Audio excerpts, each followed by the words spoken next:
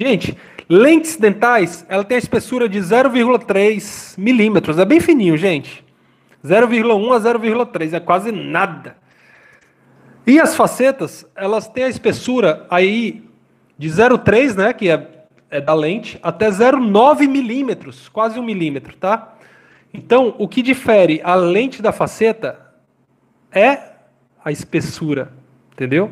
A espessura da película cerâmica que vai ser colocada no teu dente. Então, em termos de preço, para mim não tem diferença não. Isso aí vai girar em torno aí facilmente de 40 a 60 mil reais, né?